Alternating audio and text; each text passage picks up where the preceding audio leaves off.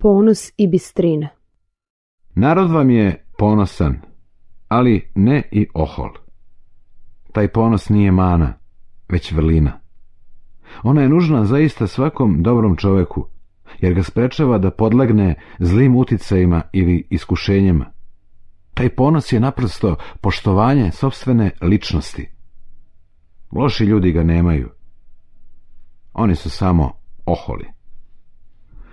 Najzad, vi ste bistar narod. Jedan od najbistrijih koje sam za života video.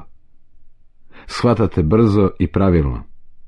Sa svojom inteligencijom i prirodnim bogatstvima tla morali biste imati jednu od glavnih uloga u Europi.